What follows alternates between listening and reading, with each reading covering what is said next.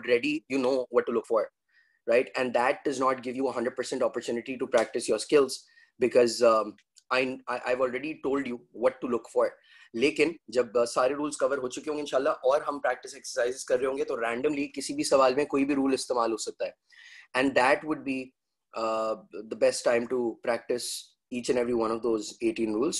So let's get on to it. So let, let's uh, discuss rule number 16. Rule number 16 is called double negatives. अच्छा आप माशाल्लाह से ए levels के students हैं O levels आपने cover किया होगा। मैथ्स में बेसिक एल्जेब्रा में एक उसूल कवर करवाया जाता है। एंड आई एम श्योर आपने ये फिजिक्स में भी पढ़ा होगा, आप में से जो स्टूडेंट्स फिजिक्स पढ़ते हैं, कि जब एक नेगेटिव वैल्यू एक दूसरी नेगेटिव वैल्यू से मल्टीप्लाई होती है तो रिज़ल्ट एक पॉजिटिव वैल्यू होती है। है ना? ये पढ़ा होगा आपने। बेसिक एल्जेब्रा का रूल है। When I multiply minus one with minus two the result is positive two right so minus minus plus जिसको आमतौर पे कहा जाता है। यहाँ पे हम एग्जैक्टली exactly उसी चीज़ के बारे में बात कर रहे हैं। सिर्फ़ मैथ्स और फिजिक्स में मतलब सिर्फ़ न्यूमेरिकल कॉन्सेप्ट्स के तौर पे माइनस माइनस प्लस नहीं होता। लैंग्वेजेस में भी जब दो नेगेटिव्स आपस में मल्टीप्लाई होते हैं तो एक पॉजिटिव रिज़ल्ट देते हैं। And when i'm talking about languages, i'm not specifically talking about english uh, this happens in urdu arabic french spanish whichever languages you know how to speak or write. हर जबान में minus minus multiply होके एक plus result देता है। Let's look at this basic example let's look at this example look at this बहुत simple सा जुमला है लेकिन इसको जरा स्कैन करो और समझने की कोशिश करो। क्या लिखा हुआ है? Don't use no double negatives now you know the word don't is a negative word. The word no is also a negative word. अब ये जब दो नेगेटिव मल्टीप्लाई हो रहे हैं तो रिज़ल्ट पॉजिटिव बन जाता है। इस जुमले का मतलब क्या है एक्चुअली डज एनीवन नो आप में से कोई ट्राई कर सकता है? Don't use no double negatives का क्या मतलब है? Z give it a shot इस जुमले का क्या मतलब है?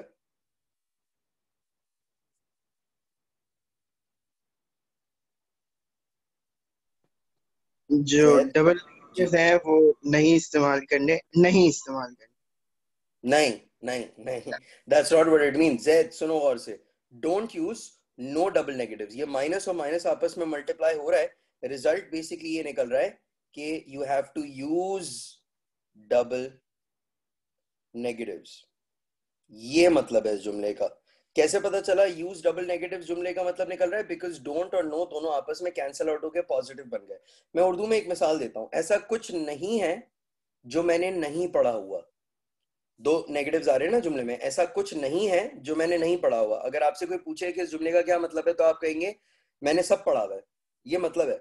ऐसा कुछ नहीं है जो तुम नहीं जानते। तो जब दो नेगेटिव्स मल्टीप्लाई हो रहे हैं, ऐसा कुछ नहीं है जो तुम नहीं जानते तो दो नेगेटिव मल्टीप्लाई होकर एक पॉजिटिव मीनिंग दे रहे हैं। तो it is incorrect to use two negative together unless one is intended to cancel out other so if you using two negative in a like in this case if you're using two negative in one sentence with the intention that one negative is suppose to is intended to cancel out the other negative तो एक अलग बात है। लेकिन अगर आप ये सोच रहे हैं, क्योंकि कई लोगों को ये मिसकनसेप्शन होता है, कई लोग ये सोचते हैं कि दो नेगेटिव मल्टीप्लाई होके बाद बहुत नेगेटिव हो जाती है। जैसे होता है ना, हम हम इंटरजेक्शन इस्तेमाल करते हैं कभी कभार जुमलों को मजीद इमोशनली चार्ज करने के लिए। यहाँ पे भी कई लोगों का ये परसेप्शन होता है कि जब मैं दो नेगेटिव्स एक साथ इस्तेमाल करूँगा तो बात बहुत नेगेटिव हो जाएगी, जबकि ऐसा नहीं है। जब आप दो नेगेटिव्स इस्तेमाल करते हैं तो बात पॉजिटिव हो जाती है, जैसे मैंने आपको मिसाल दी। ऐसा कुछ नहीं है जो मैं नहीं जानता इसका मतलब है मैं सब जानता हूँ। ऐसा कुछ नहीं है जो तुमने नहीं पढ़ा हुआ।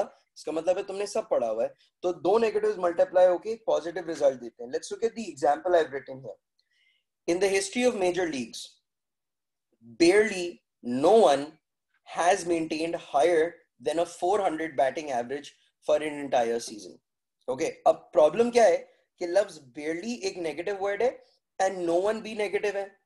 अच्छा and by by negative, positive, I'm talking about the tone of the word. आपको लव्स का टोन महसूस होना चाहिए। जैसे यहाँ पे हम बात कर रहे थे, of course, don't is the contraction of do not.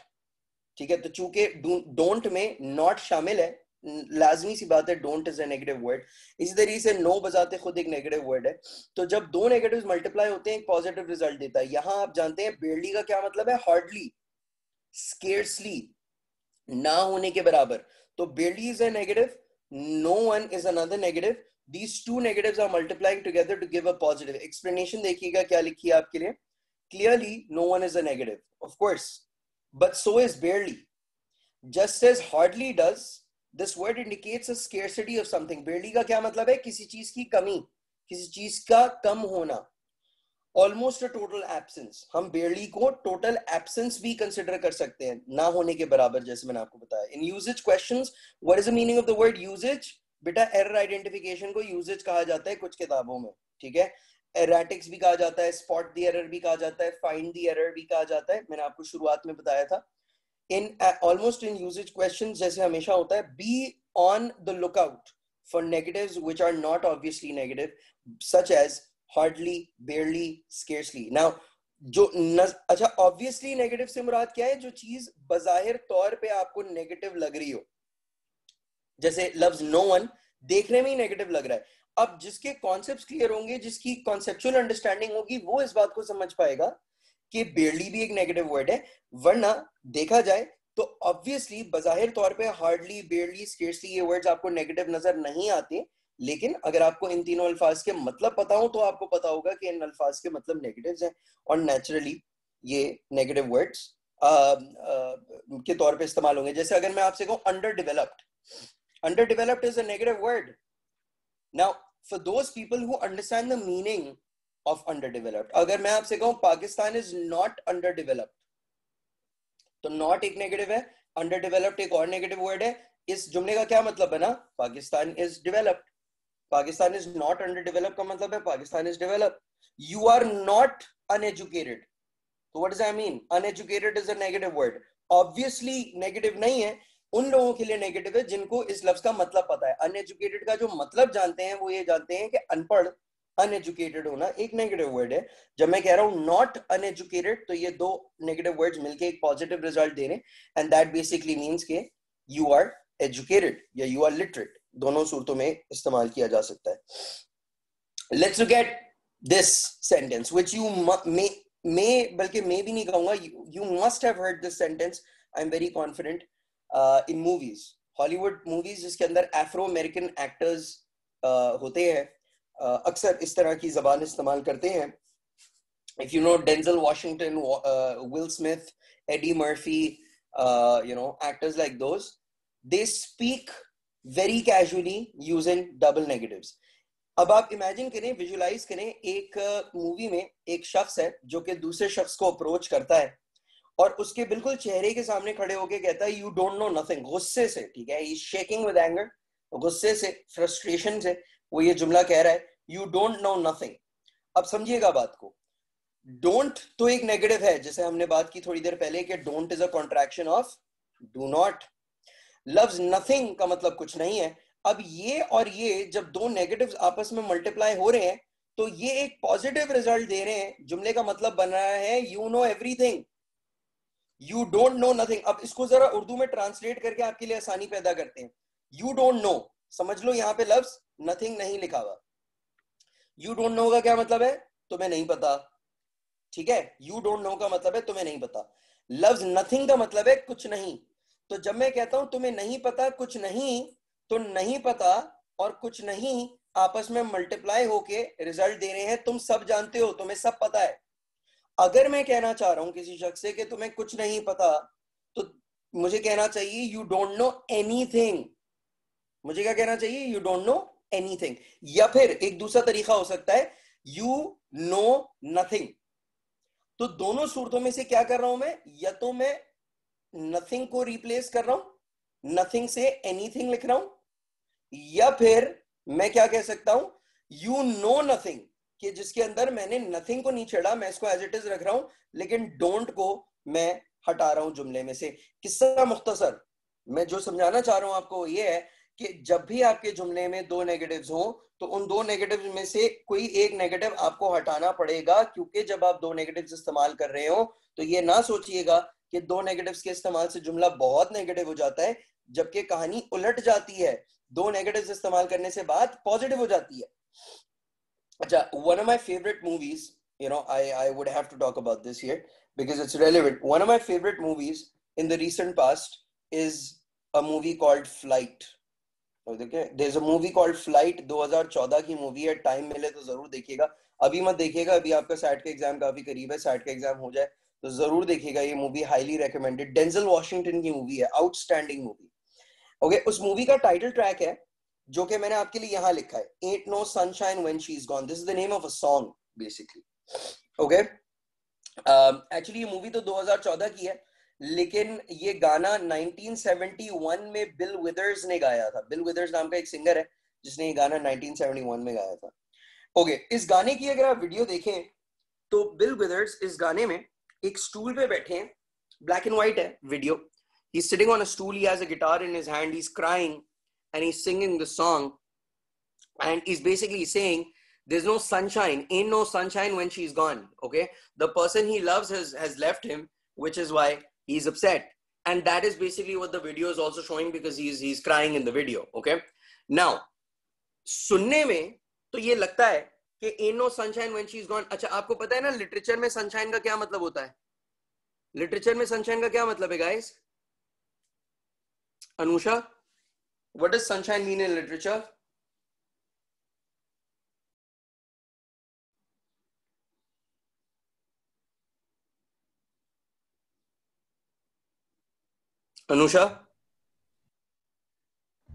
Uh, sir, I don't know.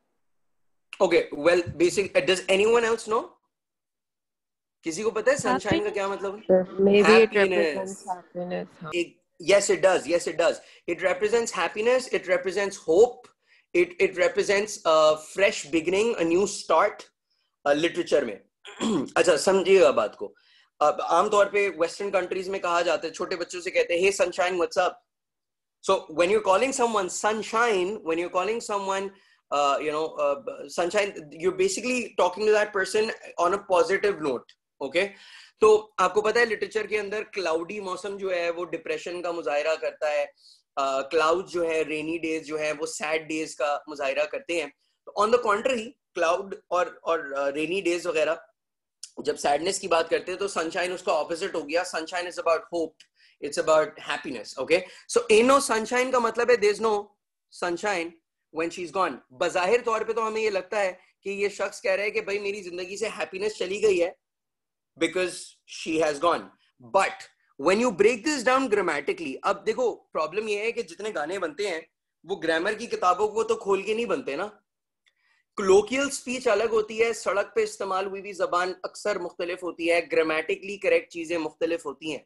अब समझिएगा एंट का मतलब है इज़ नॉट एंट का मतलब है इज़ नॉट स्लैंग है इनफॉर्मल है बट एंट इस्तेमाल होता है इज़ नॉट के लिए। आमतौर पे सदर्न स्टेट्स है ना यूनाइटेड स्टेट्स ऑफ़ अमेरिका के, जैसे टेक्सास हो गया, जैसे एरिजोना हो गया, जैसे न्यू मैक्सिको हो गया, ये जो स्टेट्स हैं यूनाइटेड स्टेट्स ऑफ़ अमेरिका के सदर्न स्टेट्स वहाँ पे इस तरह लफ्ज एंट बहुत कॉमनली यूज़ किया जाता है फॉर इज़ नॉट अच्छा नो मैंने एज इट इज़ कॉपी कर दिया, जैसे यहाँ लिखा हुआ है सनशाइन मैंने एज इट इज़ कॉपी कर दिया। I am going step by step अगले स्टेप में मैंने फिर इज़ नॉट को एज इट इज़ कॉपी किया और नो सनशाइन की जगह मैंने नो हैप्पीनेस लिख दिया because as you just told me sunshine means happiness okay? So, since sunshine means happiness, i have replaced the word sunshine with the word happiness.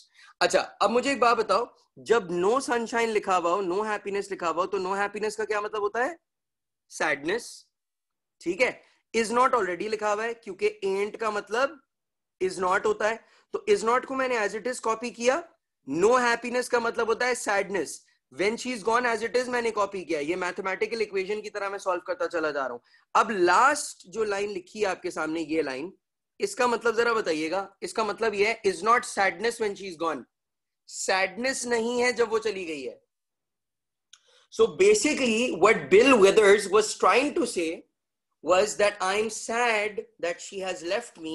But when you analyze the lyrics on a grammatical level, he is actually saying the exact opposite of what he wants to say कि मेरी ज़िंदगी में sadness नहीं है जब वो चली गई है।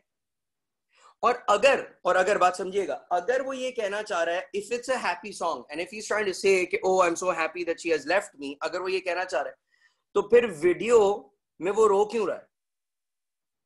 You understand what I am saying video तो ऐसी बननी चाहिए थी कि वो यू नो बीच पे भाग रहा है he balloons multi coloured balloons rainbow coloured balloons उसके हाथ में फायर वर्क्स हो रहे हैं, खुशियाँ हैं you know they are butterflies and rainbows and flowers इस तरह की कोई वीडियो होनी चाहिए खुशी वाली, सही है? सैडनेस है वीडियो में, रो रहा है वीडियो में। अपेरेंटली मतलब देखने में बाहिर तौर पे वो ये कहना चाह रहा है कि मैं बहुत उदास हूँ because she has gone but when you analyse this part of the lyrics ठीक है? When you when you analyze this part, you realize कि ain't जिसका मतलब है is not, definitely ain't is a negative, is not is a negative. And no sunshine, ये जो इस्तेमाल हुआ है, ये दो नेगेटिव्स मल्टीप्लाई होके जुमले का मतलब जब देखा जाए तो बिल्कुल ऑपोजिट कर रहे हैं। Does that make sense to you guys समझ में आ रहा है मैं क्या कहना चाह रहा हूँ?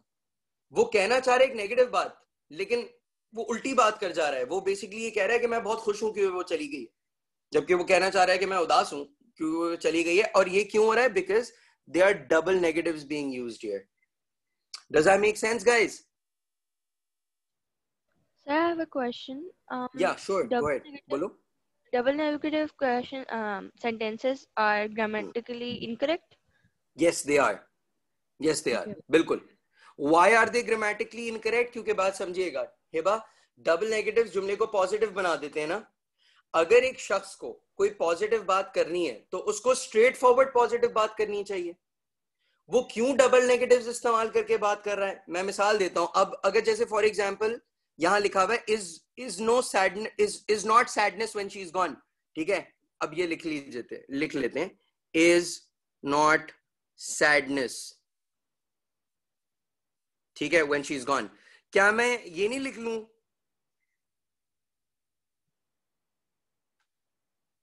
is happiness when she's gone means the same thing right here we are using three words and here we're using two words and the message is the same so we talked about redundancy a while ago what is redundancy unnecessary use of words unnecessary use of words नहीं करना चाहिए ना अब जैसे थोड़ी देर पहले मैं आपसे कह रहा था you are not uneducated थोड़ी देर पहले जैसे मैं आपको मिसाल दे रहा था ये चार वर्ड्स इस्तेमाल हो रहे हैं। इसकी जगह मैं ये ना लिख दू you are educated shorter same meaning ऐसा कुछ नहीं है जो तुम नहीं जानते। काउंट करो कितने वर्ड्स है। ऐसा कुछ नहीं है जो तुम नहीं जानते। कितने वर्ड्स हो गए? आठ वर्ड्स हो गए।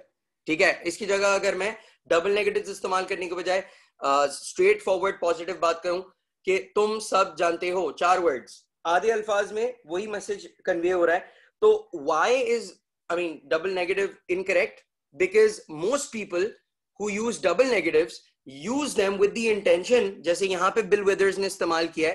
People who use double negatives usually use them with the intention कि यार बात डबल नेगेटिव से बहुत नेगेटिव हो जाएगी। जबकि अक्सर लोगों को ये रियलाइज़ नहीं होता, जैसे यहाँ बिल विदर्स को रियलाइज़ नहीं हुआ।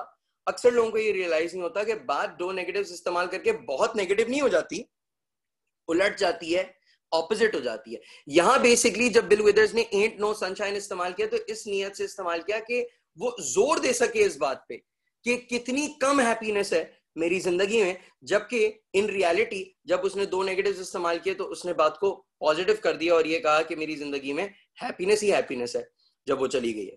ठीक है? तो एक तो प्रॉब्लम ये हो गया। दूसरी बात ये कि अगर वाकई आप एक पॉजिटिव बात कहना चाह रहे हैं और आप डबल नेगेटिव का इस्तेमाल करते हैं उस बात को कहने के लिए तो प्रॉब्लम ये है कि वो रिडंडेंट हो जाता है और उससे कहीं बेहतर ये है कि आप बात को स्ट्रेट फॉरवर्ड अंदाज में बगैर नेगेटिव इस्तेमाल किए, बगैर डबल नेगेटिव इस्तेमाल किए, बात को स्ट्रेट फॉरवर्ड पॉजिटिव कहें। जैसे ये जुमला आपके सामने लिखा हुआ है, चार अल्फाज यू डोंट नो नथिंग कहने से बेहतर है you know everything is a communication है। किसी शख्स को अगर आप ये बोलेंगे उसको ये जुमला डाइजेस्ट करने में तीन चार सेकंड लग जाएँगे। लेकिन ये जुमला अगर आप किसी को कहेंगे तो ये स्पॉन्टेनियसली उसी लम्हे आ, सामने वाले को समझ में आ जाएगा। You know everything straight forward sentence है। कॉम्प्लिकेशंस नहीं है। Okay let's talk about a couple of examples here एक सेकंड दीजिएगा मुझे जरा। Let's talk about a couple of examples let's look at these two sentences first पहला जुमला देखिएगा। द डिक्लाइन ऑफ़ outmoded industries has resulted in an unstable economy since no easy way of restraining workers has never been found. Okay. Let's look at the sentence. Can you spot two negatives in this sentence? Unstable and never. No, unstable is not a negative word. Here we have no and never as um, negative words. Okay. And since we cannot do anything to the word no, याद रखिएगा, जो चीज़ underline नहीं है, उसको मैं नहीं छेड़ सकता। Since I can't do anything to the word no I should do something to this word so that the sentence becomes positive rather than, i mean, maintains its negativity than becoming positive, okay? याद रखिएगा, अगर एक एक जुमले में minus like एक equation में minus one multiply by minus two है, जैसे थोड़ी देर पहले मैं आपको एग्जांपल दे रहा था, अब ये माइनस माइनस मल्टीप्लाई होके डेफिनेटली एक पॉजिटिव रिज़ल्ट देंगे। अगर मुझे कुछ करके इस इक्वेशन किसी भी इक्वेशन की नेगेटिविटी को मेंटेन करना है तो I will have to make sure कि एक नेगेटिव एक पॉजिटिव से मल्टीप्लाई हो रहा हो। क्योंकि ऐसा नहीं हो सकता कि मैं दो नेगेटिव्स मल्टीप्लाई कर रहा हूँ और मैं ये भी एक्सपेक्ट करूँ कि एंड रिज़ल्ट भी नेगेटिव ही रहे। That's not gonna happen so if I have a sentence which has two negatives as we can see here I can't do anything to the word no because it's not underlined, but I can definitely play around with option D. and maintain the negativity of the sentence because the way it's written here is ke, um, you know it's it's going to turn positive. so jumla dekhega the decline of outmoded industries has resulted in an unstable economy since no easy way of restraining workers has never been found ki jagah ever. Ever been found. kya keh beta ever bola exactly. Perfect. Yes. Never ki jagah ever. So when we say ever been found, we are basically eliminating the negativity of this word. And by eliminating the negativity of option D, we are ensuring that the sentence as an end result remains negative. क्योंकि अगर हम D option की negativity को ना हटाएं तो ये never multiply होके नो के साथ जुमले को पॉजिटिव कर देगा और मैं ये नहीं चाहता कि मेरा एंड रिजल्ट पॉजिटिव हो डबल नेगेटिव इस्तेमाल करके एंड रिज़ल्ट तो पॉजिटिव नहीं होना चाहिए मतलब होगा बट नहीं होना चाहिए उसकी जगह। नेगेटिव रखना है अगर जुमले को तो नेगेटिव रखने के लिए ऑप्शन डी को चेंज करना पड़ेगा नेवर की जगह एवर करना पड़ेगा, जैसे आपने बिल्कुल सही बताया, आपने बिल्कुल सही बताया। ठीक है? Perfect let's look at the second one because consumer electronics are so affordable today, hardly no college student needs to go without a personal stereo. Here you can see option B as a double negative option. Hardly is a negative word as we just talked about a couple of minutes ago. The word no is definitely a negative. अब जैसे मैंने आपको बताया दो negative में से एक negative eliminate करना पड़ेगा। क्या कर सकते हैं हम? Hardly any. Perfect hardly any यही करना चाहिए हमें। हार्डली नो की जगह हार्डली एनी हो सकता है। या फिर एक और भी तरीका है because consumer electronics are so affordable today no college student needs to go without a personal stereo तो जैसे आपने बताया हार्डली को अगर मेंटेन करना है तो नो की जगह एनी कर दो। या फिर अगर आप नो को मेंटेन करना चाह रहे हैं तो सिंपली लव्स हार्डली को काट दे। किस्सा मुख्तसर, क्या करना है? किसी भी एक नेगेटिव को हटाना ज़रूरी होगा। दो में से किसी एक को इलिमिनेट करना होगा, ताकि दो नेगेटिव्स मल्टीप्लाई होकर पॉजिटिव रिज़ल्ट ना दे रहे हो। We have to maintain the negativity of the sentence. Perfect. So you guys have got it now. Good. Okay, let's look at rule number 17, which is very straightforward. अच्छा rule number 16 से related कोई questions हैं guys? Any confusions, any clarifications that you want me to give you? Assalamualaikum sir. Are we allowed? Ji to वांसा in- दोबारा बताओ बेटा I can't hear you.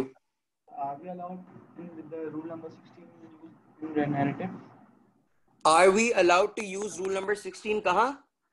In narrative writing नहीं नहीं we shouldn't नहीं we shouldn't Heba ने थोड़ी देर पहले ये सवाल पूछा था।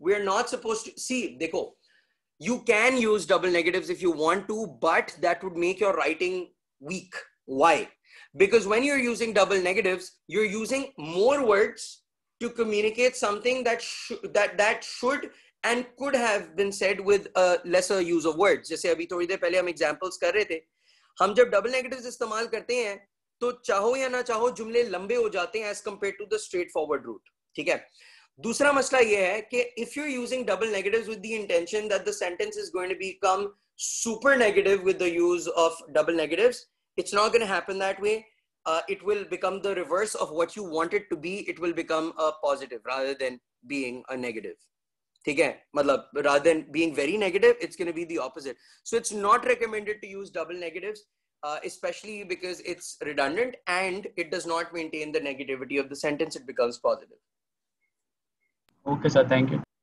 No problem बच्चे अच्छा let's look at rule number 17 super duper simple rule ये भी मैथ्स जिन बच्चों ने पढ़ी होगी उनके लिए बहुत ही आसान है बेटा आपने मेट्रिसीज पढ़े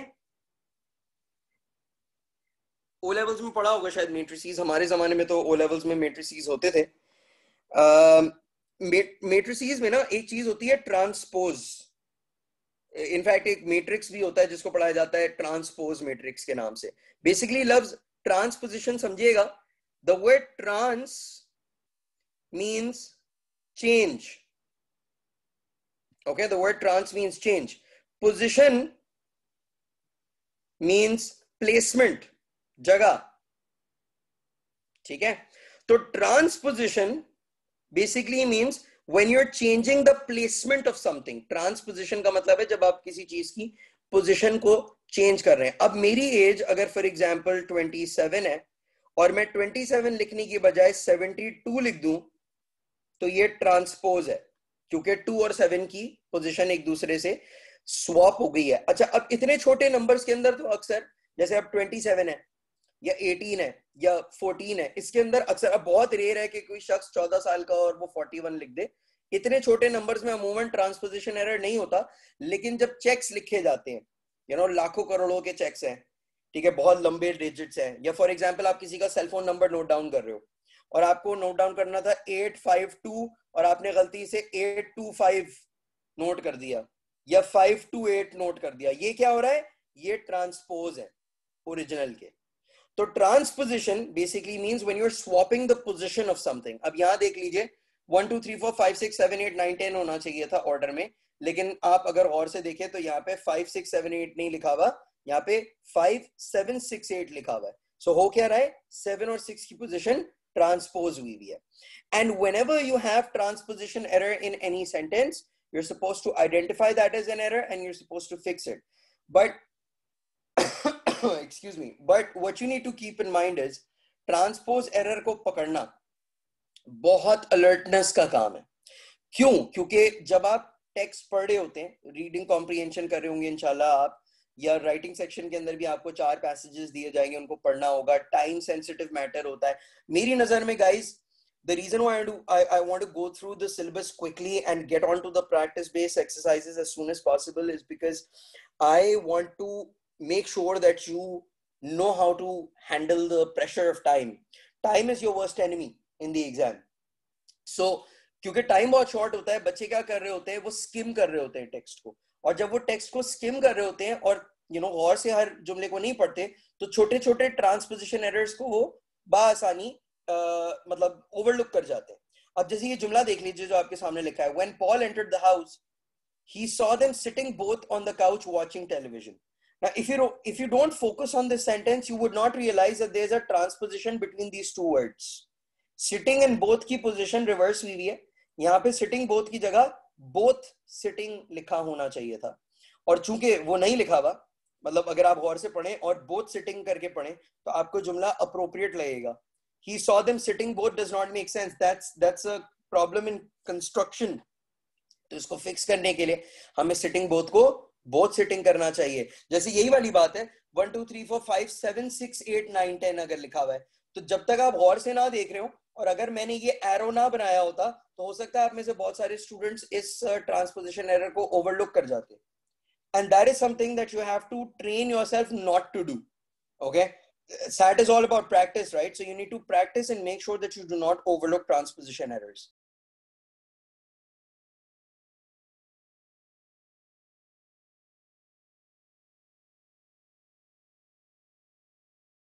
Get it?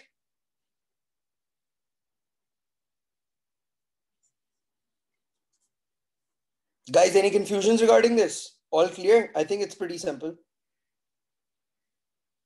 Yes, sir, clear. Straightforward, eh, kafi. Chalo. Okay, so that's all you need to know about rule number 17, which was transposition error. Now, alhamdulillah, we are on our last rule. Rule number 18, we'll talk about conjunctions which are usually called indicators in a couple of books of grammar, ठीक है? कुछ books में conjunctions को indicators कहा जाता है। क्यों indicators कहा जाता है? बिकॉज़ जैसे गाड़ी के या बाइक के इंडिकेटर्स होते हैं ना, हम राइट टर्न लेने से पहले इंडिकेटर देते हैं, फिर हम साइड मिरर में देखते हैं ब्लाइंड स्पॉट चेक करते हैं, ये देखते हैं कि राइट साइड से कोई गाड़ी तो नहीं आ रही, फिर हम गाड़ी टर्न करते हैं। इंडिकेटर गाड़ी का या बाइक का, इंडिकेटर का काम ये होता है कि पीछे से आने वाली गाड़ियों को ये बताए कि मेरी नियत क्या है करने की। मैं राइट मुड़ूँगा लेफ़्ट मुड़ूँगा, रुक जाऊँगा, जैसे ब्रेक लाइट्स भी होती हैं ब्रेक लाइट्स भी इंडिकेट करती हैं पीछे वालों को कि भाई एहतियात करो, पीछे रहो, तुम भी ब्रेक लगा लो क्योंकि मैं ब्रेक लगाने जा रहा हूँ। सामने वाला ब्रेक लगा ले, आपने ब्रेक ना लगाई हो तो ज़ाहिर सी बात है आप पीछे से उसको हिट कर देंगे। तो इंडिकेट करना कंजंक्शन का काम है। कंजंक्शन बेसिकली ये हिंट करता है ये बताता है कि जुमले में आगे क्या होने वाला है। About the theory let's look at an, uh, let's look at a couple of examples. मेरे पास एक जुमला है बहुत सिंपल सा जुमला दे रहा हूँ। Jack is smart and then I use the word and आगे कुछ लिखा हुआ है। अब मैं अगर आपसे कहूँ कि ये जो ब्लैंक है इस ब्लैंक को आपने कंप्लीट करना है तो ये जो ब्लैंक है इसमें आप कोई पॉजिटिव बात लिखेंगे नेगेटिव बात लिखेंगे न्यूट्रल बात लिखेंगे? क्या लगता है आपको? Positive exactly exactly how do you know that you know that because of this word and you know that smart is a positive connotation word what is the meaning of connotation guys एक लफ्ज है connotation connotation का मतलब है the tone and the feeling that you get when you hear a particular word जैसे smart लफ्ज है smart सुनते हो तो पॉजिटिव फीलिंग आती है। अच्छा इसी लफ्ज की जगह अगर मैं लफ्ज स्लाई लिख दू तो यू नो स्लाई का मतलब है मकार, चालाक। दैट्स अ नेगेटिव वर्ड ठीक है? तो आपको ये बात पता है कि smart is a positive connotation word love smart सुन के आपको एक पॉजिटिव टोन पॉजिटिव फीलिंग महसूस होती है। और आप ये जानते हैं कि लफ्ज एंड एक सपोर्ट कंजंक्शन है। और चूँकि पॉजिटिव और फिर एंड लगावे तो यकीनन वही पॉजिटिविटी आगे मेंटेन हो रही होगी। इसी तरीके से अगर मैं आपसे कहूँ जैक इज़ स्मार्ट बट अब क्या होना चाहिए आगे नेगेटिव होना चाहिए एग्जैक्टली exactly, नेगेटिव होना चाहिए अब मज़ेदार बात देखें मैंने अभी तक आपको कंजंक्शन के बारे में कुछ खास नहीं बताया I have gone into theory related to conjunction but you already know how to जज conjunction and how to predict What's going to happen next? Why? Because this conjunction is called an indicator, as I told you a couple of minutes ago. Conjunctions को indicators कहते हैं, क्योंकि ये conjunctions indicate करते हैं कि आगे क्या होने वाला है।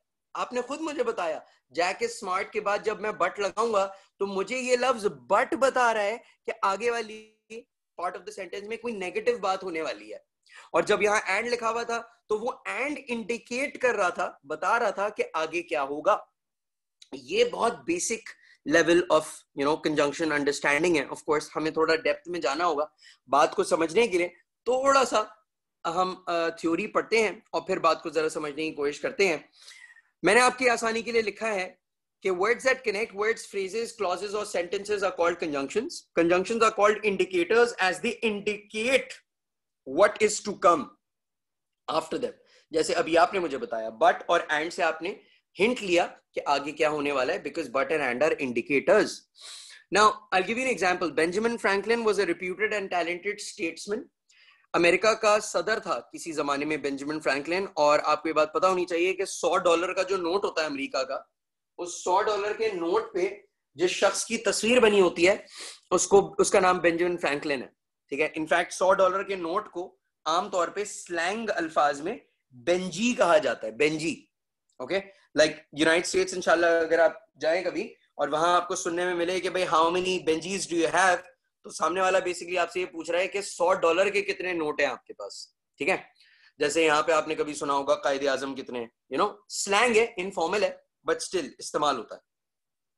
तो Benjamin Franklin was a reputed and talented statesman and he was most famous for his discovery of electricity now people who do not understand indicators conjunctions in in, in depth think that this sentence is perfect okay even though this sentence has a problem with it there's a problem with this sentence and the problem is specifically with the word and अब आप ये कहेंगे कि sir आपने तो कहा था कि जब डायरेक्शन मेंटेन हो रहा हो तो हमें एंड इस्तेमाल करना चाहिए राइट जैसे अभी हम स्मार्ट की बात कर रहे थे और स्मार्ट के बाद मैंने एंड लगाया तो आपको ये बात पता थी कि एंड के बाद एक और पॉजिटिव बात आएगी। यहाँ पे भी एक तरीके से देखा जाए तो रिप्यूटेड एंड टैलेंटेड स्टेट्समैन होना एक पॉजिटिव चीज़ है। और being famous for something is also positive तो यहाँ पे एंड में मसला क्यों है? एंड में मसला इसलिए है क्योंकि डायरेक्शन जुमले का सेम नहीं, माना दोनों बातें पॉजिटिव हैं, लेकिन डायरेक्शन जुमले का सेम नहीं है। स्टेट्समैन एक हुक्मरान को कहते हैं। सही है मिनिस्टर कह सकते हैं गवर्नर कह सकते हैं प्रेसिडेंट प्राइम मिनिस्टर कह सकते हैं any person who works for the state is called a statesman अच्छा डिस्कवरी ऑफ़ इलेक्ट्रिसिटी एक साइंटिस्ट का काम है एक इन्वेंटर का नाम है एक, एक इन्वेंटर का काम है। तो चूँकि स्टेट्समैन और साइंटिस्ट के काम में कोई मतलब सिमिलैरिटी नहीं है इसलिए यहाँ हमें एंड की जगह एक दूसरा कंजंक्शन लगाना चाहिए था जैसे अगर हम बट लगा लेते तो वो ज़्यादा बेहतर होता। look at the explanation to identify and correct the faulty conjunction faulty conjunction कौन सा and determine what the relationship between the sentences two clauses really is does this simple additive connective word and best express the relationship the writer states two facts about benjamin franklin he was a talented statesman and he discovered electricity although these two facts are quite dis distinct ठीक है यहाँ पे distinct लिखा होना चाहिए था the writer joins the two ideas with a conjunction and which normally expresses a consistency between two equally emphasized facts in the same direction बात समझिएगा if i give you a sentence jack is a smart boy dash he's better at soccer मुझे बताओ blank में कौन सा conjunction डालेंगे Jack is a smart boy dash is better at soccer exactly exactly. अब हम बात तो दोनों पॉजिटिव कर रहे हैं। मैंने पहले आपसे कहा Jack is a smart boy वो तो पढ़ाई में भी अच्छा है। Dash is better at soccer वो तो सॉकर में भी अच्छा है। तो फिर आपने बट क्यों इस्तेमाल किया? आपको तो एंड इस्तेमाल करना चाहिए था। दरअसल आपने बट इसलिए इस्तेमाल किया और दुरुस्त इस्तेमाल किया। आपने बिल्कुल सही बताया। बट इसलिए इस्तेमाल किया क्योंकि भले दोनों बातें पॉजिटिव हों, अच्छे स्टूडेंट और अच्छे सॉकर प्लेयर के दरमियान कोई कंसिस्टेंसी नहीं है। These are two different things हाँ अलबत्ता अगर मैं कहता Jack is a good student dash maths is his favourite subject तो अब क्या होगा dash maths is his favourite subject क्या होगा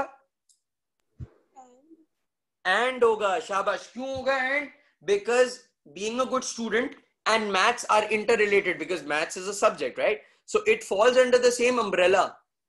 Of of studying, which is why it's it's consistent. अब यहाँ देख लें अगर हम जुमले को तो बेंजामिन फ्रैंकलिन एक रिप्यूटेड टैलेंटेड स्टेट्समैन है, हुक्मरान है। ये नो डाउट एक पॉजिटिव बात है। आगे लिखा हुआ है कि उसने डिस्कवरी ऑफ़ इलेक्ट्रिसिटी की, जिसकी वजह से वो मोस्ट फ़ेमस है, ठीक है? ये भी एक पॉजिटिव बात है। लेकिन जैसे मैंने आपको बताया स्टेट्समैन के काम में और इन्वेंटर साइंटिस्ट के काम में कोई कंसिस्टेंसी नहीं है, जिसकी वजह से एक कनेक्टिव कंजंक्शन लाइक एंड इस्तेमाल नहीं करना चाहिए। हमें इसकी जगह अगर हम कोई कॉन्ट्रास्ट कंजंक्शन इस्तेमाल करते like but like however like yet still इस तरह का कोई लफ्ज इस्तेमाल करते तो वो ज़्यादा बेहतर होता।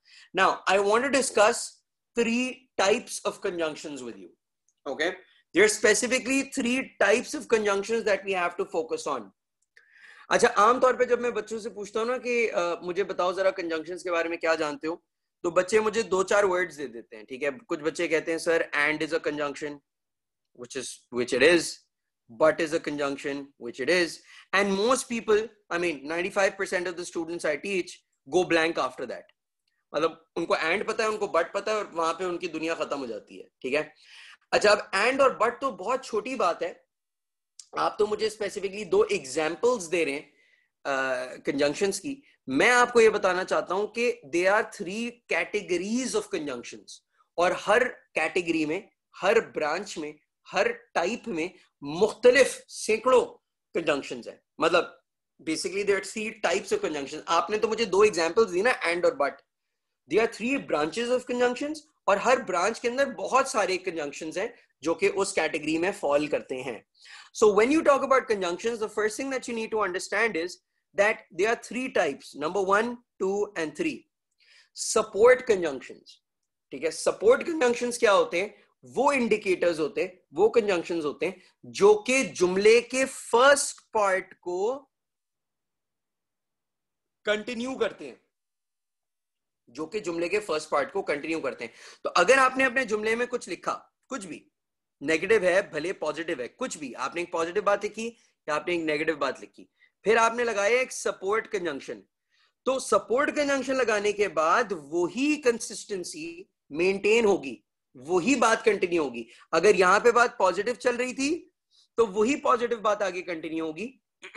अगर यहाँ बात नेगेटिव चल रही थी तो वही नेगेटिव बात आगे कंटिन्यू होगी। क्यों? क्योंकि आपने एक सपोर्ट कंजंक्शन लगाया है, जिसका काम है जुमले के फ़र्स्ट पार्ट वाली कॉन्वर्सेशन को, बात को आगे मजीद लेके जाना। ठीक है?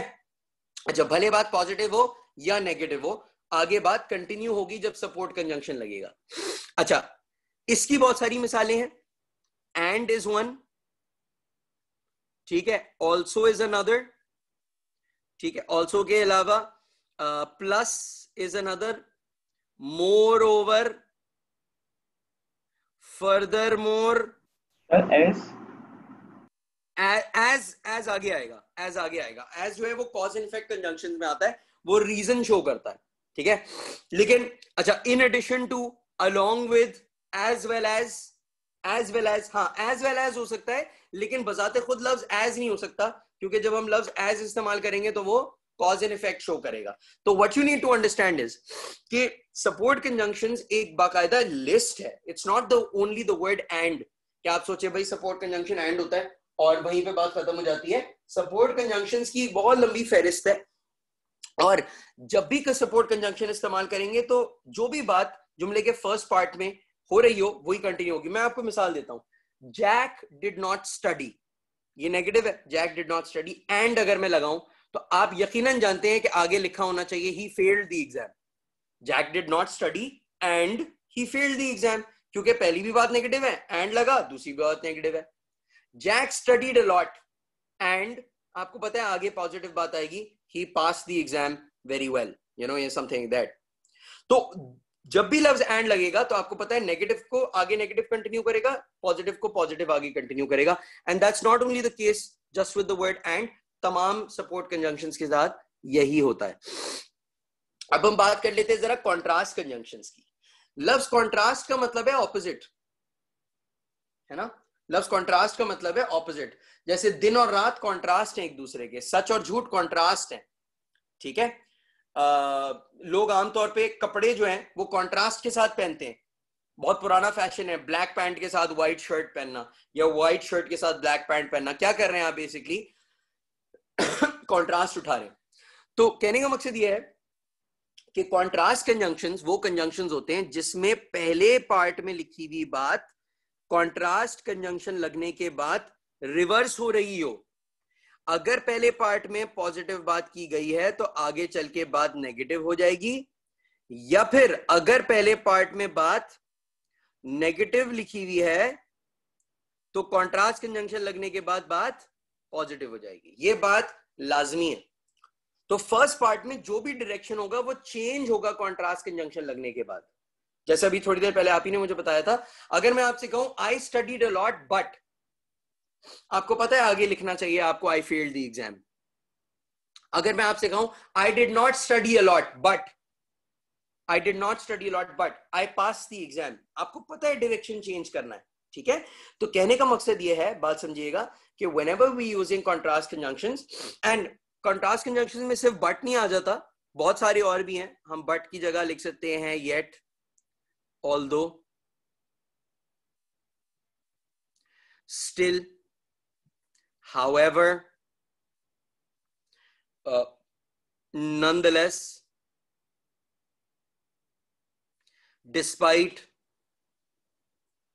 in spite of um, और भी बहुत सारे हैं जो अभी जहन में मेरे क्लिक नहीं कर रहे लेकिन there are lot of conjunctions that show contrast between situations okay so ये बात जहन में रखिएगा कि कॉन्ट्रास्ट कंजंक्शंस जुमले की डायरेक्शन को फ्लिप करते हैं चेंज करते हैं okay let's talk about the third type of conjunctions which is called cause and effect conjunctions अभी थोड़ी देर पहले आपने मुझसे कहा लफ्ज एज एज बेटा बेसिकली लिंक शो करता है दो बातों के दरमियान। अगर आपके जुमले में दो पार्ट्स हो और एक पार्ट दूसरे की वजह से हो रहा हो। भले पहला दूसरे की वजह से हो रहा हो या दूसरा पहले की वजह से हो रहा हो।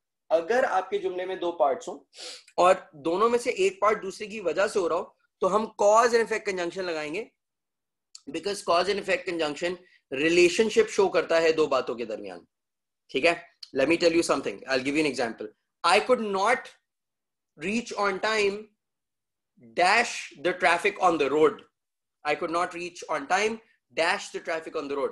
Now I can use the word because, I can use the word due to, I can say since there was a lot of traffic on the word uh, on the road, as there was a lot of traffic on the road. Um, ये तमाम अल्फाज जो हैं वो cause and effect conjunctions है तो मैं लिख देता हूं because as since therefore Of course her situation में हर conjunction नहीं लगता depends on the category but these are all different cause and effect conjunction since therefore hence um, इसी तरीके से और भी बहुत सारे conjunctions हैं जो कि इसी category में आते हैं a whole list of uh, conjunctions uh, which fall in different categories uh, we have uh, support contrast and cause and effect तो मैं आपको बकायदा एक लिस्ट दूँगा जिसका रट्टा लगाने की कोई ज़रूरत नहीं है समझ लो, ये सारी बातें समझने की है कॉन्सेप्चुलाइज करने की हैं ये सारी बातें, जिसकी वजह से आपके कॉन्सेप्ट इंशाल्लाह क्लियर हो जाएँगे and we will you know take it from there अच्छा I want to look at this sentence with you पहला जुमला देखिएगा जरा। Learning the rules of musical harmony is one thing and applying them with inspired creative zest is another कोई गलती लग रही है इस जुमले में? बट होना चाहिए। Exactly exactly.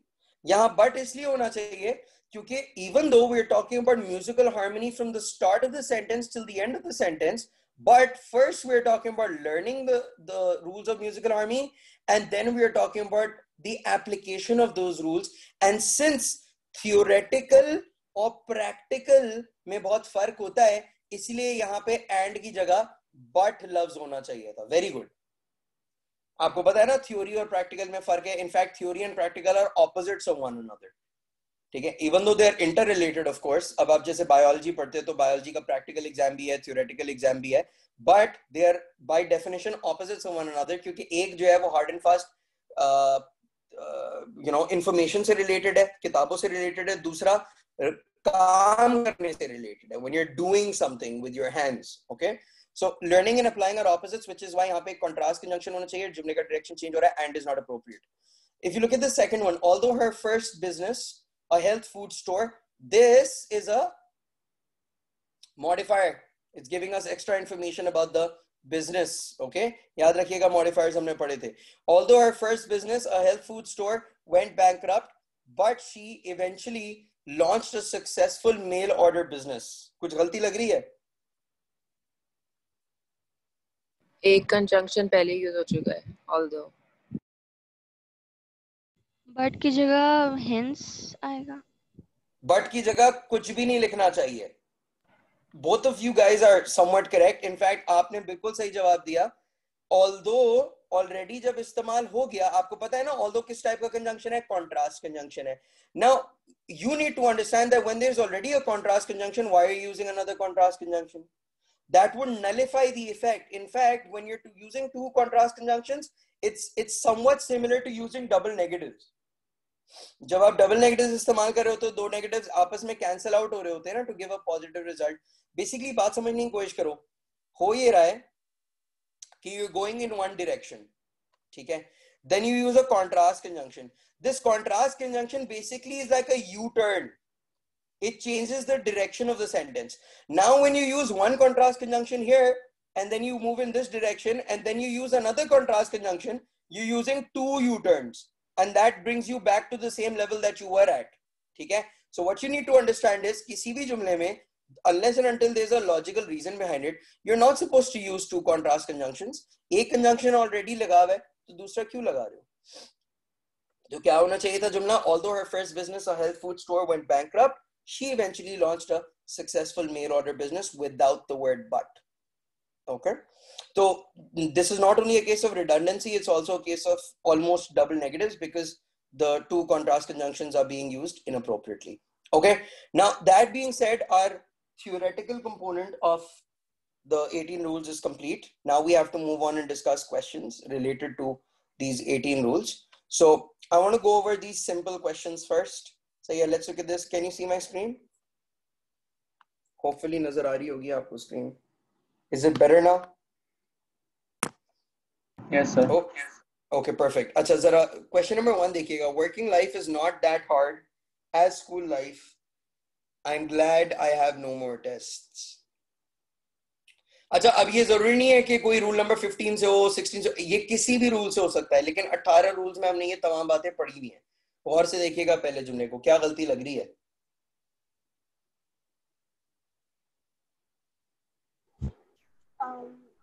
पे दैट की जगह एज होना चाहिए। Exactly B option is our answer because that की जगह एज होना चाहिए क्योंकि आपको पता है कंस्ट्रक्शन वाइज जब हम दो चीज़ों को कंपेयर करते हैं तो हम कहते हैं as soon as as quickly as as hard as right so that's how we construct sentences यहां पे जुमला होना चाहिए था working life is not as hard as okay so यहाँ हार्ड एज तो लिखा हुआ है उससे पहले दैट की जगह as होना चाहिए था which is why you can see that there's a there's an error in option B and the error is basically related to rule number 6 that we studied back in the day okay so if you want to revise your concepts go back to rule number 6 inshallah आपको इसके हवाले से confusion नहीं होगी let's go on to the second sentence you could take whatever action you want I don't care could could wrong tense में use हुआ है it should be can exactly why क्योंकि tense wrong है मतलब sentence is in present tense or could is past very good very good in fact i just want to you know i want you to answer something for me यहाँ actually there are two tenses being used एक ये ये past है ये present है और sorry मैंने कुछ ज़्यादा बड़ा सर्कल बना दिया। ये प्रेजेंट है और ये भी प्रेजेंट आपको नज़र आ रहा है। Don't is a contraction of do not right अगर यार डिडेंट लिखा होता तो वो डिड नॉट का कॉन्ट्रैक्शन होता, वो पास टेंस होता।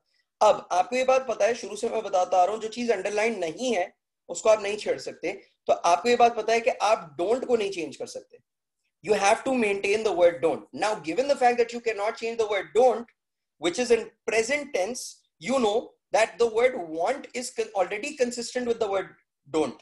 क्योंकि want भी present है और don't भी present है। जो गड़बड़ है वो यहाँ है, क्योंकि ये could past tense में और इसको भी present tense में होना चाहिए था ताकि तीनों चीज़ें, तीनों words कंसिस्टेंटली प्रेजेंट टेंस में बन जाए। अगर कुछ बच्चे हैं, कुछ बच्चे हैं जिनको मैं जानता हूँ, वो क्या करते हैं कि वो कहते हैं, सर सी गलत है। क्योंकि वांट की जगह वांटेड होना चाहिए। मैं क्यों पूछता हूँ, क्यों? तो वो कहते हैं वांटेड इसलिए होना चाहिए क्योंकि ये पास्ट टेंस में आप दरअसल मजीद गलती कर रहे हैं सेंटेंस के अंदर, जो गलत सेंटेंस था, उसको और गलत कर रहे हैं। क्यों? क्योंकि ये पास्ट टेंस है, ये भी आपने पास्ट टेंस कर दिया, और जो चीज़ चेंज नहीं कर सकते डोंट वो अभी भी प्रेजेंट टेंस में तो कंसिस्टेंसी खराब हो जाती है सेंटेंस की ठीक है? तो बहुत अच्छा जवाब दिया, बिल्कुल परफेक्ट जवाब दिया। गलती जो है, वो ऑप्शन ए में है।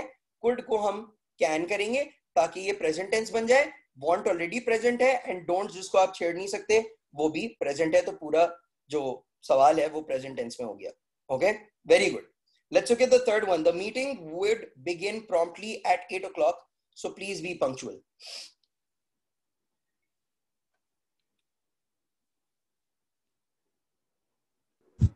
Should be replaced by will. Exactly. Why?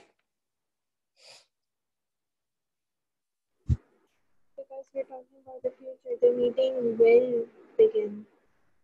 Exactly, because of the reason that I've written on the screen. Would is denoting past tense, whereas the word will denotes future tense. So यहाँ पे हमें future tense इस्तेमाल करना चाहिए क्योंकि जिस meeting की बात हो रही है वो शुरू नहीं हुई है शुरू होगी आठ बजे ठीक है क्योंकि हम एक शख्स से कह रहे हैं please be punctual please be punctual इस बात पे हिंट कर रहा है कि अभी तक ये वक्त नहीं आया है, आने वाला है। तो जब आने वाला है तो यकीनन फ्यूचर टेंस होना चाहिए। वुड कैसे इस्तेमाल कर रहे हो? वुड की जगह विल होगा। शाबाश वेरी गुड तो आप देखो, आप खुद, माशाल्लाह, ये सारे सवाल के जवाब दे रहे even though these question are jumbled up one question is related to a particular rule, the other question is related to something unrelated. So let's talk about question number 4 they will be coming home, isn't it? We have to wait then क्या लग रहा है? Sir isn't it feels wrong हाँ very good अब isn't it की जगह क्या होना चाहिए? Exactly exactly. शाबाश यार I am so proud of you guys very nice very nice isn't it की जगह? वो एक मिनट मैंने इरेजर को क्लिक कर दिया. Okay won't they why because हम दे की बात कर रहे हैं ना। जब प्रोनाउन हमने इनिशियली प्लोरल इस्तेमाल किया तो इजेंट इट कैसे इस्तेमाल कर रहे हैं? प्रोनाउंस मस्ट बी कंसिस्टेंट आपने रूल नंबर ट्वेल्व में क्या पढ़ा है? प्रोनाउन शिफ्ट नहीं होना चाहिए सेंटेंस के अंदर। You are not allowed to change the consistency of pronouns and if you do it is an error right so won't they होना चाहिए? शाबाश वेरी गुड सो आंसर आपका सी है क्वेश्चन नंबर फोर का isn't it की जगह? Won't they आएगा. Five देखते हैं. We tried roller skating for the first time and enjoyed very much क्या गड़बड़ लग रही है?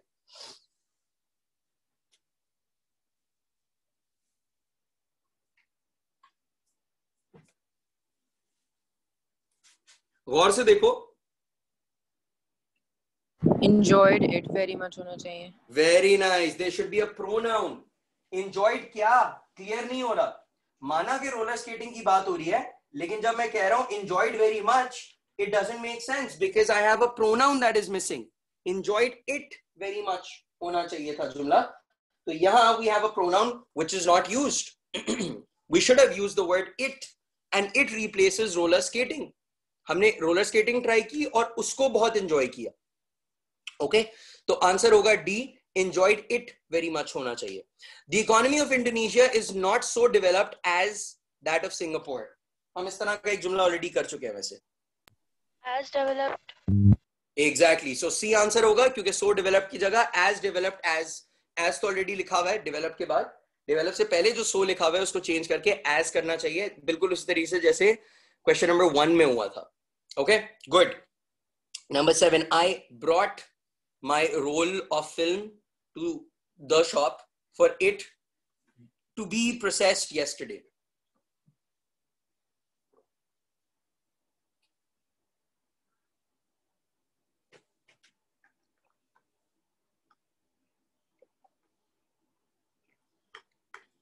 सोचो थोड़ा सा ट्रिकी है ये।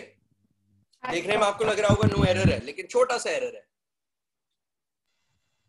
Had brought exactly very good had brought क्यों हो रहा है? जब दो चीज़ें पास्ट में हुई हुई हैं, बात समझो। दो चीज़ें पास्ट में हुई हैं। दोनों पास्ट हैं हाँ। जो ज़्यादा पास्ट है, उसको हम पास्ट परफेक्ट करके, जो सेकंड पास्ट है मतलब जो बाद में हुआ है रिलेटिवली उसको हम सिंपल पास्ट रखते हैं। ये बात मैंने आपको बताई थी कि जब दो चीज़ें पास्ट में हुई हैं, एक ज़्यादा पास्ट में है और एक कम पास्ट में। तो जो ज़्यादा पास्ट में उसको पास्ट परफेक्ट करेंगे और जो कम पास्ट में उसको सिंपल पास्ट रखेंगे। ताकि ये बताया जा सके, ये पता चल सके कि जो दो पास्ट में उसमें से ज़्यादा पहले क्या हुआ, बाद में क्या हुआ। अब आप इस जुमले को देख लीजिए। यहाँ लिखा हुआ है आई आई जो लिखा हुआ है वो पढ़ रहा हूँ। I brought my roll of film ये सिंपल पास्ट लिखा हुआ है? To the shop for it to be process ये भी सिंपल पास्ट लिखा हुआ है। अब यहाँ वाजे नहीं हो पा रहा कि कौन सी चीज़ पहले हुई और कौन सी चीज़ बाद में हुई। इवन तो दोनों चीज़ें माजी में हो चुकी हैं, दोनों चीज़ें पास्ट में हो चुकी हैं, लेकिन दोनों एक ही टोन में हो रही हैं।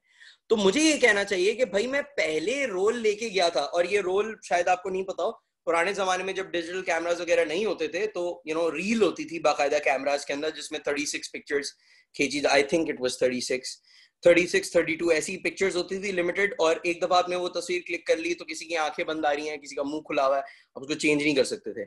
तो पहले मैं रोल लेके गया, और बाद में वो प्रोसेस हुई ना तो यहाँ पे मुझे इसको हैड ब्रॉट करना ज़रूरी है ताकि ये बताया जा सके कि पहले मैं रोल लेके गया था दुकान बाद में वो प्रोसेस हुआ। शाबाश very good so a answer है ब्रॉड की जगह हैड ब्रॉट होगा because you took it to the shop पहले and it got processed after that number eight देखिएगा the offer is attractive but if you can not accept it I will understand Accept A double C. शाबाश homophones इस्तेमाल हो रहे हैं। We must have acc ept accept here rather than accept. Okay so question number 8 the answer is c accept. Number 9 we have been thriving very hard to achieve our ambition. We hope to succeed in time. We have been thriving very We hard are. to achieve our ambition. Ji We are thriving very hard. We are thriving we uh, exactly we have been thriving very hard to achieve our ambition we hope to exactly अब problem पता है क्या है यहाँ पे हमने present perfect इस्तेमाल करके यहाँ पे simple uh, present इस्तेमाल कर लिया which is not acceptable तो we are thriving very hard to achieve our ambition we hope to succeed in time मतलब हम अभी भी मेहनत कर रहे हैं और हम होप करते हैं कि आगे कामयाबी हासिल होगी this question question number 9 is very similar to the one we studied in question number 7 जहाँ पे मैं आपको बता रहा था कि दो चीज़ें हैं, दो टाइम जोन्स हैं। एक चीज़ पहले हो रही है, एक चीज़ बाद में हो रही है तो उन दोनों के दरमियान एक लॉजिकल सीक्वेंस बनाना चाहिए। नंबर सेवन में, क्योंकि दोनों चीज़ें पास्ट में थी तो एक हमने पास्ट परफेक्ट कर दी, जो ज़्यादा पुरानी है, और एक हमने सिंपल पास्ट में रखी, ठीक है, जो कि ऑप्शन डी में प्रोसेस लिखा हुआ था। यहाँ पे क्या हो रहा है वी हैव बिन को जब आप आर थ्राइविंग करेंगे तो इसका मतलब है हम अभी थ्राइव कर रहे हैं थ्राइव का मतलब स्ट्रगल करना मेहनत करना। हम अभी थ्राइव कर रहे हैं बड़ी मेहनत कर रहे हैं और हम आगे उम्मीद करते हैं कि हम सक्सीड कर जाएँगे। तो इस सेंटेंस में क्या हो रहा है? जो पहले चीज़ हो रही है उसको सिम, आ, हमने सिंपल प्रेजेंट कंटिन्यूस कह सकते हैं। सिंपल प्रेजेंट कंटिन्यूस में किया और आगे जो चीज़ हो रही है उसको हम फ्यूचर टेंस में कर रहे हैं ताकि दोनों के दरमियान मवाजना हो सके। नंबर टेन देखिएगा। These fruits sorry these fruit trees only produce fruit once every two years do they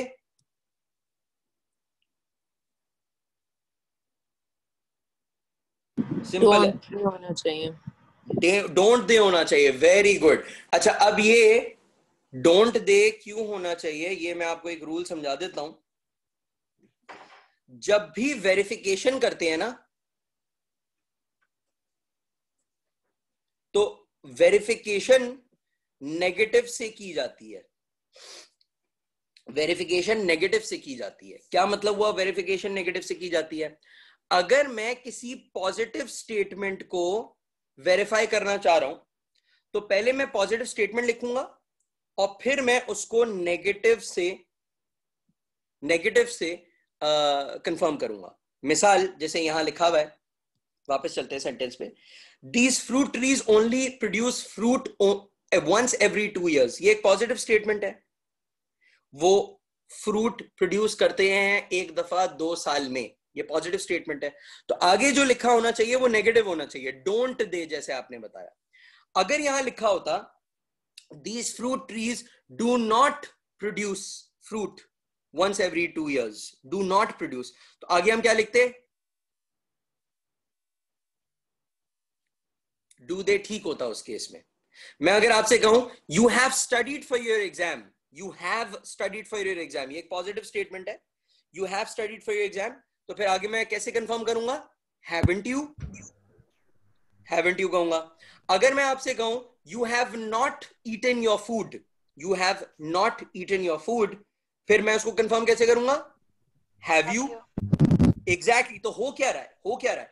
जो नेगेटिव स्टेटमेंट है उसको वेरीफाई करने के लिए हम पॉजिटिव करते हैं। और जो पॉजिटिव स्टेटमेंट है उसको वेरीफाई करने के लिए हम नेगेटिव करते हैं। हमेशा याद रखिएगा। सर इसी सेंटेंस के आगे आंट यू नहीं आएगा? कहा? ये? आपने जो लास्ट सेंटेंस बोला था कि क्या मैं भूल गया कि यू हैवंट समथिंग कुछ ऐसी था तो उसमें you haven't prepared for your exam समझ लो। You haven't prepared for your exam are you तो नहीं बोल सकते ना? Aren't you aren't you? A r e n apostrophe t. Aren't अच्छा aren't यू नहीं aren't यू कैसे होगा? आर तो बेटा आपको पता है ना प्लोरल है। तो जब मैं यू को टारगेट कर रहा हूँ तो अ, ये आर कैसे लगाऊँगा मैं उसके साथ नेगेटिव में? समझ लो पॉइंट ये है अगर मैं कह रहा हूँ you haven't prepared for your exam have you बोलूँगा मैं। क्यों? क्योंकि मुझे मैंने जब शुरू में हैव हैवंट में क्या है? हैव नॉट है। हैव नॉट का कॉन्ट्रैक्शन है हैवंट तो जब मैंने शुरू में हैव लगाया तो आगे भी हैव लगाना पड़ेगा लेकिन नेगेटिव के साथ वेरीफाई करना पड़ेगा। हमेशा ये बात याद रखिएगा कि जैसे for example you have completed your A levels you have completed your A levels you इस तरह होगा। या अगर मैं कहूँ you have not taken your exams you have not taken your exams have you तो हमेशा ये होता है कि जो भी स्टेटमेंट आपको दिया जाता है, उसका कॉनिटेशन आपको चेक करना है और इसका ऑपोजिट कॉनिटेशन आपको चूज़ करना पड़ेगा जब भी वेरीफाई किया जा रहा हो। जैसे यहाँ पे क्वेश्चन मार्क लगा हुआ है ना वेरिफिकेशन की जा रही है। एक शख्स दूसरे से पूछ रहा है है ना? तो जब जैसे हम उर्दू में कहते हैं ना है ना आपने खाना खा लिया है ना आपने ए लेवल्स कंप्लीट कर लिया है ना तो ये जो है ना है ना ये बेसिकली वेरिफिकेशन है जो उर्दू में हम है ना इस्तेमाल करते हैं। और उसका जो रिप्लेसमेंट है आप वाजे तौर पे देख सकते हैं it is based on tone of the sentence okay? Now basically uh, look at uh, number 11 her avaricious relatives assembled at the lawyer's office to hear the reading of jemima's will now you need to know the meaning of the word avaricious avaricious का क्या मतलब है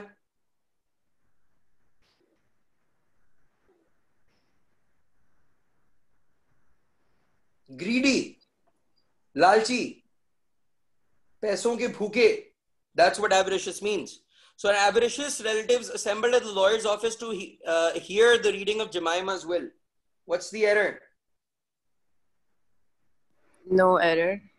exactly there's no error it's perfect there's nothing wrong with the sentence जो greedy थे relatives वो assemble कर गए जमाइमा की शायद तबीयत खराब होगी तो लॉयर के दफ्तर पे वो जमा हो गए अ, कि भाई उसके जाने से पहले जरा हम पता कर लें कि हमारे हिस्से में क्या दौलत आने वाली है ठीक है so there's nothing wrong with the sentence but of course you won't be able to figure out whether there's an error or not until you know the meaning of avaricious and uh, that's why vocabulary is super important अच्छा मैं ये confirm करना चाह रहा था आप लोगों को मटेरियल मिल गया not yet sir ओहो But- अच्छा ठीक है जाएगा जब कॉलेज को अच्छा मैं आज आज बात करता हूँ अच्छा हुआ आपने मुझे बता दिया मैं आज बात करता हूँ और uh, उसको जरा आपको जल्द से जल्द पहुंचाते हैं because as you know, word list is uh, super important, and the sooner you start, the better it is. Achha, let's look at number 12. He was not merely expected to contribute funds to the project, but to work as hard as the other patrons. What do you think?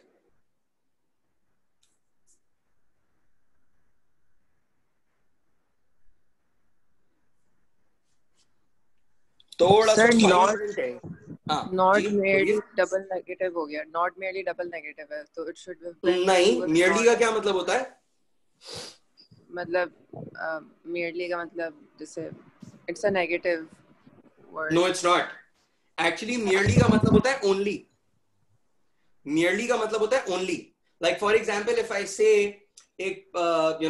पाँच साल का बच्चा मेरे सामने खड़ा है और मैं उससे कहूँ मीन्स ओनली मतलब it's a little uh, what you call it academic ये जो लफ्ज है ना a little too literature oriented ये लफ्ज आमतौर पे common terms में merely इस्तेमाल नहीं होता लेकिन लफ्ज merely का मतलब है only अब आप तस्वुर करें एक मिनट के लिए मान लें कि यहाँ merely की जगह only लिखा है यहाँ merely की जगह only लिखा है तो फिर मुझे बताएँ जुमले में क्या गलती है because merely means only But के साथ also भी होना चाहिए था. शाबाश exactly now you're talking sense answer होगा बी बिकॉज़ नॉट ओनली के साथ बट ऑल्सो आता है कंपैरेटिव में. हमने ये बात फेक कंपाउंड्स में पढ़ी थी इधर के साथ और आता है नीदर के साथ नॉर आता है. नॉट ओनली के साथ हमेशा बट ऑल्सो आता है. जुमले का मतलब क्या हुआ? जुमले का मतलब ये है कि एक शख्स है, जिससे सिर्फ़ ये एक्सपेक्ट नहीं किया जा रहा था कि वो पैसे कंट्रीब्यूट करेगा प्रोजेक्ट में. एक प्रोजेक्ट है, समझ ले, चार पाँच पार्टनर्स मिलकर कंपनी स्टार्ट कर रहे हैं. तो उससे सिर्फ़ ये एक्सपेक्ट नहीं किया जा रहा था कि वो पैसे देगा प्रोजेक्ट में बट ऑल्सो टू वर्क उससे ये भी एक्सपेक्ट किया जा रहा था कि वो दूसरे पेटर्न की तरह मेहनत भी करेगा। पेटर्न कौन होता है? पेट्रन एक शख्स होता है जो कि फाइनेंशियली किसी चीज़ को सपोर्ट करता है। मतलब आपने सुना होगा, बहुत से स्टूडेंट्स ए लेवल्स के स्टूडेंट्स बैरून मुल्क जाते हैं, मुख्तलिफ़ यूनिवर्सिटीज में स्कॉलरशिप्स पे पढ़ते हैं। वो स्कॉलरशिप अक्सर कोई मल्टीनेशनल कंपनी दे रही होती है। अक्सर वो स्कॉलरशिप कोई बैंक दे रहा होता है। तो जब कोई बैंक या कोई मल्टीनेशनल कंपनी किसी स्टूडेंट की एजुकेशन को स्पॉन्सर करता है तो वो मल्टीनेशनल कंपनी या वो बैंक उस स्टूडेंट का पेट्रन कहलाता है। तो यहाँ पे क्योंकि कंपनी स्टार्ट करने की बात हो रही है तो ये कहा जा रहा है कि एक शख्स से सिर्फ़ ये नहीं एक्सपेक्ट किया जा रहा कि वो पैसे कंट्रीब्यूट करेगा, उससे ये भी एक्सपेक्ट किया जा रहा है कि वो दूसरे पेट्रेंस की तरह जिन्होंने पैसे जोड़े हुए उनकी तरह मेहनत भी करेगा। क्लियर हो गया मामला? ठीक है भाई। तो नंबर ट्वेल्व का आंसर बी हो गया क्योंकि बट की जगह बट ऑल्सो होना चाहिए। Now let's look at number thirteen none of us knows what the outcome between the coordinator and us will be क्या होना चाहिए?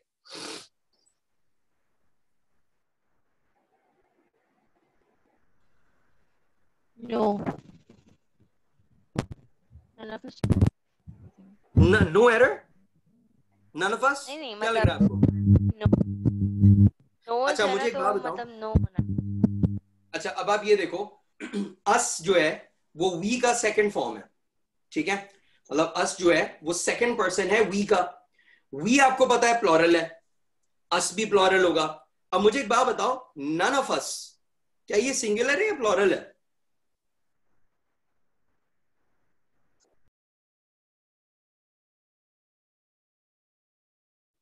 नन ऑफ़ अस सिंगुलर होगा प्लोरल होगा।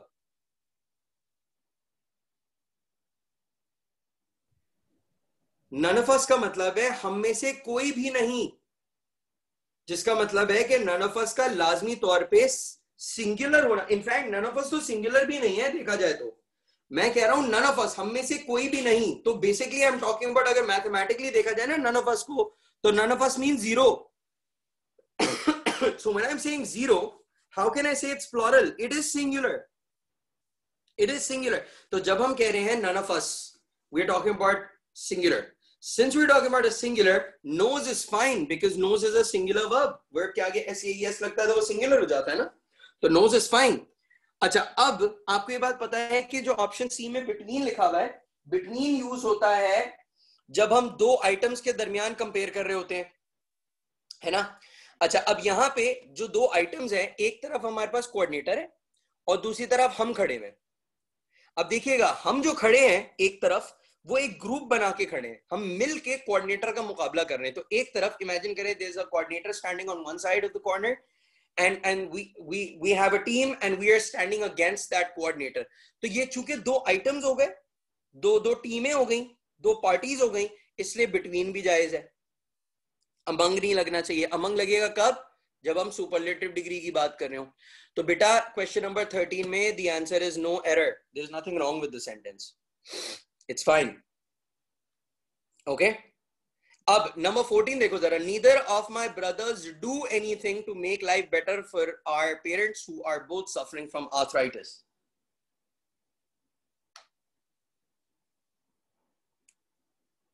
No error. No there is an error here now here क्या लग रहा है? Sir, do a. Exactly exactly. Do की जगह क्या होगा? Neither of my brother are doing anything ना make डज होगा। No does sorry. क्यों होगा डज बात समझिएगा मेरी। ब्रदर्स प्लोरल इसमें कोई शक नहीं है। नीदर ऑफ़ माई ब्रदर्स का क्या मतलब है? मेरे भाइयों में से एक भी नहीं। जैसे अभी हम नन ऑफ़ अस की बात कर रहे थे ना थर्टीन में वैसे मेरे भाइयों में से एक भी नहीं। तो जब हम कह रहे हैं नीदर ऑफ़ माई ब्रदर्स मेरे भाइयों में से एक भी नहीं तो दैट बेसिकली मीन ज़ीरो तो जब वो ज़ीरो है तो हम उसको प्लोरल कैसे ट्रीट कर सकते हैं? आपको ये बात पता है कि वर्ब के आगे जब एस या ई एस लगता है तो वो सिंगुलर हो जाता है। तो मेरे पास डू है, जिसके आगे मैंने एस या ई एस लगाया, वो सिंगुलर बन गया। मुझे डू की जगह डज लिखना चाहिए। Neither of my brothers does anything अगर लिखा होता है माई ब्रदर्स निदर ऑफ़ नहीं लिखा होता लिखा होता माई ब्रदर्स तो मैं क्या कहता my brothers do anything या जो भी तो ब्रदर्स के साथ तो डू ठीक है लेकिन नीदर ऑफ़ माई ब्रदर्स के साथ डू एक्सेप्टेबल नहीं है डज होना चाहिए okay let's okay number fifteen and then I wrap up today's discussion here Uh, the the teacher sat down besides the frightened child and tried to reassure him that the monster was merely imaginary. Merely again means only. So, क्या होगा?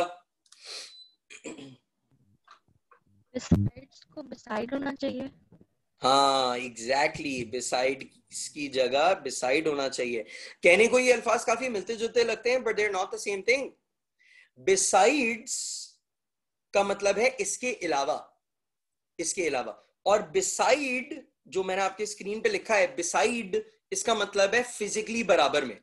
अब यहाँ पे हम एक बात कर रहे हैं, एक बच्चे की जो कि किसी फिक्शनल मॉन्स्टर कैरेक्टर से डरा बैठा है।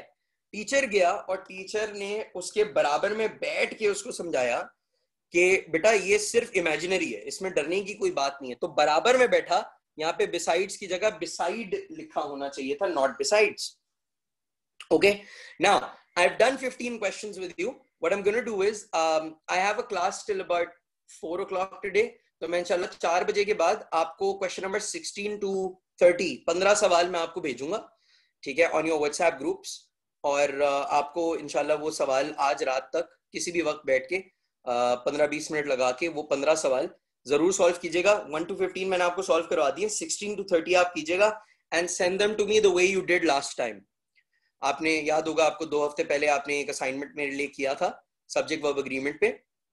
उस वक्त खैर, हमने गालिबन शायद तीन ही रूल्स कवर किए थे तो मैंने आपका सब्जेक्ट वर्ब अग्रीमेंट पे एक टेस्ट लिया था छोटा सा। और अभी आपको सिक्सटीन टू थर्टी कवर करने होंगे। तो फिर इनशाला जब आप वो भेजेंगे तो I give you the to that and you know feel free to make mistakes but please attempt every question ठीक है? छोड़ना नहीं बीच में सवाल।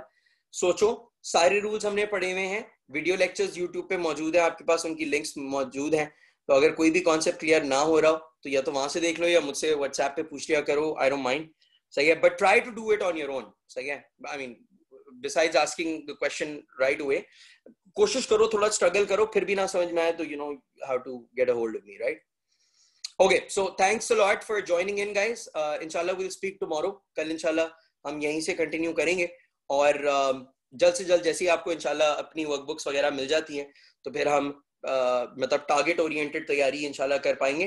और आपको फुल लेंथ टेस्ट का मैं एक जायका दे सकूँगा I give you a taste of the actual taste okay so everything clear for today guys any confusions any questions Yes, sir. All chalo perfect thank you so much guys i'll see you tomorrow inshallah thank you